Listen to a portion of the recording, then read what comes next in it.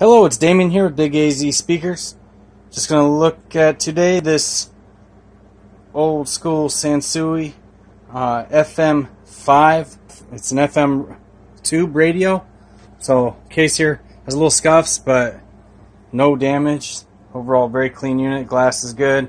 Face is clean. To all right, I got the case off.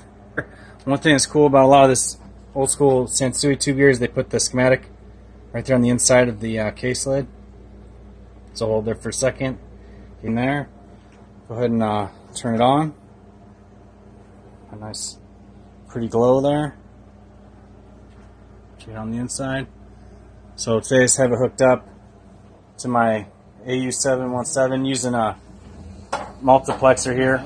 Uh, but I believe you can split just with a cable off that too. If you, but uh, maybe someone else would know better or not. But I haven't had any issues.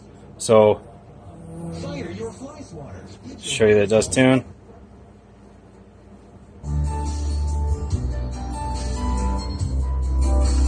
It's got a chintzy antenna hooked up.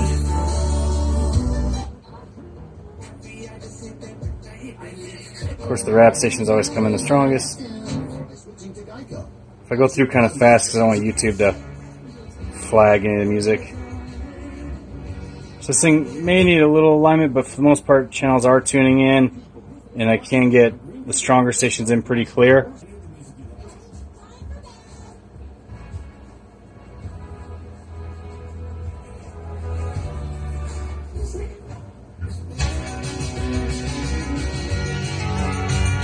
Oh, makeshift setup here.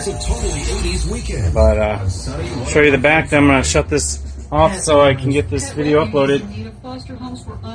But thank you for taking a look. Stay tuned. I got plenty of other gear I'll be posting, and let me know your thoughts, comments, or questions. Thank